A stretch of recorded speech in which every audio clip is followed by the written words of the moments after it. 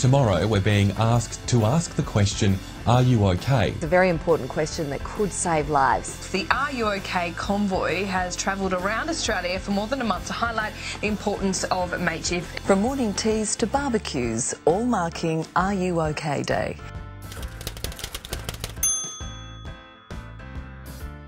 One local school installed a permanent reminder, a conversation bench. For children who are feeling a bit down, who don't have anyone to talk to.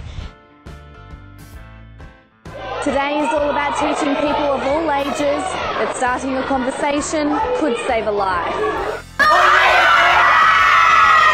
Four letters, but they can save a life.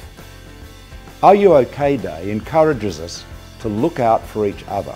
This simple question is reaching out to someone you know, a friend, a work colleague, a family member. The point of Are You OK Day today is to reach out and connect with someone else. And possibly if you watch Australian Story, you may have seen the heartbreaking update recently on Gavin Larkin, who had the light bulb moment in the first place. Today is Are You OK Day, and something happened on the radio this morning that you may not have heard, but it is worth a listen.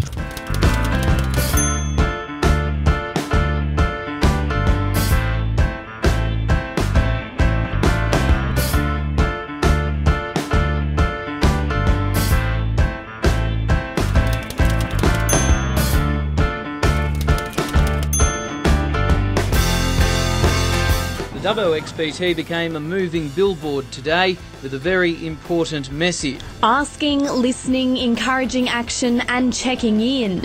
These are the four steps in asking, Are you okay?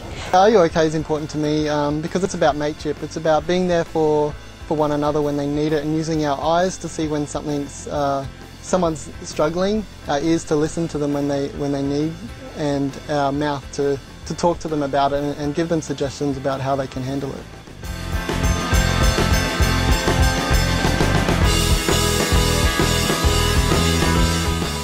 Rural and remote mental health have joined the conversation convoy and they're heading up to Kalgoorlie. Are You OK's Conversation Convoy has rolled into Cairns.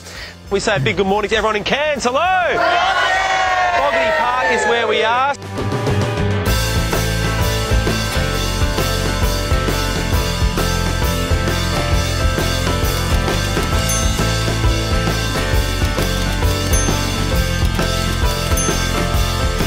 Very special guest. We have Ben Lee joining us. Good morning, Ben. He just arrived late last night from uh, LA, where you're living these days.